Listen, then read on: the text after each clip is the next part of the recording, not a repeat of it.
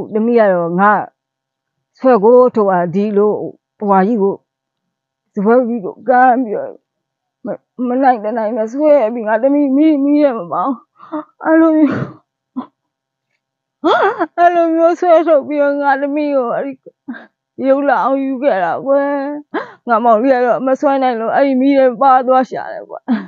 သူကတော့ချက်ချင်းပဲလက်လက်ကြီးမှန်းပြီးနေသွားရှာ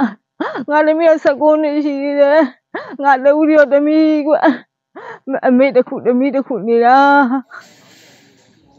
ခုပြောနေတဲ့သူကတော့ပလဲမြို့နယ်ညောင်ကုန်းရွာလေကြောင်းတိုက်ခိုက်ခံရမှုဖြစ်စဉ်အတွင်းမှာတမိဖြစ်သူကိုဆုံးရှုံးခဲ့ရတဲ့မိခင်တယောက်ရဲ့ပြောဆိုချက်ပါစကိုင်းတိုင်းအလဲပိုင်းပလဲမြို့နယ်အတွင်းကိုဇွန်လ29ရက်နေ့ညနေပိုင်းမှာစစ်ကောင်စီကလေကြောင်းကနေဘုံကျဲတိုက်ခိုက်ခဲ့တာကြောင့်တန်ဃာတစ်ပါးအပါအဝင်ဒေသခံ10ဦးသေဆုံးခဲ့ရပါတယ် ပလဲမြို့ရဲ့တောင်ဘက်3မိုင်လောက်အကွာမှာရှိတဲ့ညောင်ကုန်းရွာဘက်ကိုစစ်တပ်ကနှစ်ကြိမ်တည်းမင်းဘုံကျဲတိုက်ခိုက်ခဲ့တာကြောင့်ဘုံကြီးကျောင်းအပါအဝင်နေအိမ်73လုံးပျက်စီးခဲ့ရတာပါလေကြောင်းတိုက်ခိုက်မှုတံကိုကိုယ်တိုင်မျက်မြင်ကြုံတွေ့ခဲ့ရတဲ့ညောင်ကုန်းရွာဒေသခံတဦးကတော့သူတို့မိသားစု၃ယောက်နေအိမ်ထဲမှာရှိနေတော့ဘုံပေါက်ကွဲတန်ကြားရတဲ့အတွက်လုံခြုံရနေရာကိုပြေးထွက်ပြီးရှော့ပုံးခဲ့ရတယ်လို့ပြောပါတယ်ကျွန်တော်ကျွန်တော်ကလေးအေးရပြီးတိုင်းတိုင်းကြီးမှာဖောက်ထွက်သွားတာ တိုင်းတစ်ဝက်နီးပါးလောက်ဖောက်ထွက်သွားတယ်ဖောက်ထွက်သွားပြီးတော့ကျွန်တော်ကလေးကိုဝင်ရထူပြီးတော့ဝင်ရထူပြီးဒီကြောင်းသွားသွားပြီးတော့ကလေးကိုဝင်ဆွဲပြီးတော့ကျွန်တော်အိမ်သားထဲမှာပုံခဲ့တယ်ပုံပြီးတော့အိမ်သားထဲမှာမလုံးလုံးဘူးဆိုပြီးကျွန်တော်ထွက်သွားလိုက်တာ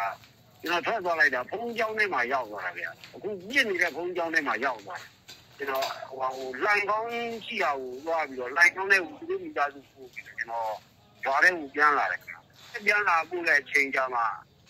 လေရန်ရက်သွားပြီးတော့မိလောင်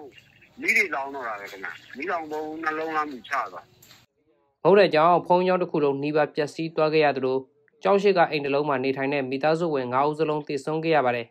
။အဲ့ဒီသေဆုံးသူ9ဦးထဲမှာတန်ဃာတစ်ပါးလည်းပါဝင်ပါတယ်။ဒါ့အပြင်ရွာထဲကတခြားနေအိမ်တွေမှာနေထိုင်တဲ့လူ9ဦးပါဝင်စုစုပေါင်း10ဦးသေဆုံးခဲ့ရပါတယ်။ဘုံနဲ့ကြောင့်ဖုံးကျောင်းအနီးပတ်ဝန်းကျင်မှာ9ပေလောက်နှက်တဲ့ကျွန်းတွေဖြစ်ပေါ်ခဲ့တာကိုလည်းတွေ့မြင်ရပါတယ်။ ရွာထဲကနေအိမ်တွေလည်းမီးလောင်ပျက်စီးခဲ့ရပါတယ်။နောက်တစ်နေရာလက်နက်ကင်ဆောင်ထားတာမျိုးမရှိပေမဲ့လည်းစစ်ကောင်စီရဲ့စိုးဝါးရက်ဆက်လာတဲ့လုပ်ရက်တွေကြောင့်အချိန်မီအသက်သေဆုံးနိုင်တဲ့အတွက်စစ်တပ်ကိုပြန်တိုက်သွားမယ်လို့ညောင်ကုန်းရွာနောက်ထပ်ဒေသခံတအူးကဆိုပါတယ်ကျွန်တော်တို့ထင်တာကဒီလို PDF တွေနဲ့စစ်ကောင်စီနဲ့တိုက်ကြတယ်ပေါ့ဒါကသူတို့အလုပ်ကျွန်တော်တို့ကတော့စစ်ကြောင်းလာရင်ဒီနဲ့လေးလန်းလာရင်ပုံမယ်ပေါ့အဲလက်နက်ကင်ပြီးဖြစ်တဲ့ကိစ္စမှာကျွန်တော်တို့ဘာမှလည်းမရှိတဲ့ကြွားအောင်ညာရဲရဲစစ်စစ် ဖုန်ကြောင်ကိုပဲပြည်ပြီးလုပ်ပါတယ်ဖုန်ကြောင်ကရှိတဲ့အိမ်မျိုးညာခါမှလည်းအကျုံမီတော့လိုင်းကြီးတာများတာဟုတ်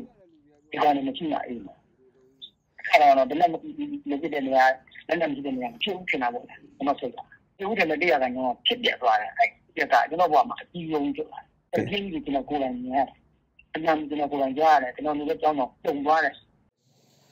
ဘုံကျက်ခံရပြီးတဲ့နောက်ပလဲမျိုးနယ်ပြည်သူ့ကာကွယ်ရေးအဖွဲ့ပကဖပြည်သူ့ကာကွယ်ရေးတပ်မတော် PDF ရဲ့ရင်းမာပင်ခရိုင်တရင်တွေကညောင်ကုန်းရွာအတွင်းကိုဝင်ရောက်ပြီးကူညီကေစေရေးတွေဆောင်ရွက်ခဲ့ရပါတယ်။ဘုံနဲ့ကြောင့်တေဆုံးခဲ့ရတဲ့ရုံလောင်းတွေကိုချက်ချင်းကောက်ယူတကြိုခဲ့ကြပါတယ်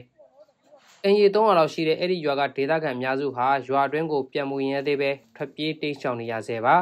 ။အရသားတွေသာရှိတဲ့နေရာကိုအခုလိုတိုက်ခတ်တာဟာလူမဆန်တဲ့လုပ်ရဖြစ်တယ်လို့ပလဲမျိုးနယ်ပကဖတာဝန်ခံကိုစောထက်ကမှတ်ချက်ပေးပါတယ်ခင်ဗျာ။ ဒါသူတို့ကမှဒီဟိုသူတို့လုပ်တယ်ဆိုတာတော့ဘာတော့ကျွန်တော်ပြောရမလို့ကြာသူတို့လည်းလက်နဲ့ကျွန်တော်လည်းလက်နဲ့ပဲဒီနိုင်ဒီလုပ်ကိုနိုင်ကိုလုံးမဲ့ကိစ္စပေါ့ဗျာအခုကဒါဖုံးကြောင်းဗျာအာဒါနာရေးကိစ္စလုပ်နေတဲ့နေရာဖြစ်တယ်ပြီးတော့ဒီဖုံးကြောင်းနဲ့ကြက်ရက်ကလည်းဒါသာမန်ပြည်သူတွေဗျာလက်နဲ့ကိုတော့အဲ့ဒီတစ်ချောင်းအောင်ကိုင်းနေတာကိုင်းနေတဲ့ပြည်သူမဟုတ်ဘူးဗျာရတာပြည်သူတွေဒီလိုနေရာမျိုးတွေကိုသူရေးပြမှတ်ပုံစံမျိုးသဘောထားပြီးတာ အကျန်းဖတ်တိုက်ခိုက်တာကတော့တော်တော်ကိုလူမဆန်တဲ့လုပ်ရပဲဗျာ